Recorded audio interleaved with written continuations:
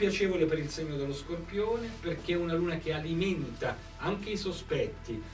Voi in questo periodo siete sulla cresta dell'onda, siete delle persone che hanno anche molto successo, però la vostra natura è quella dei detective, di coloro i quali eh, cercano sempre eh, l'indizio no? che può alla fine portare ad una prova per incastrare qualcuno, perché siete diffidenti, perché non vi fidate fino in fondo delle persone eh, che, che, frequentate, soprattutto a livello professionale in questo momento. Fate bene in alcuni casi ad essere così diffidenti, però mi raccomando, in amore il fatto di essere troppo gelosi, di essere possessivi, alla fine può portare anche a delle crisi, quindi tenetelo in considerazione.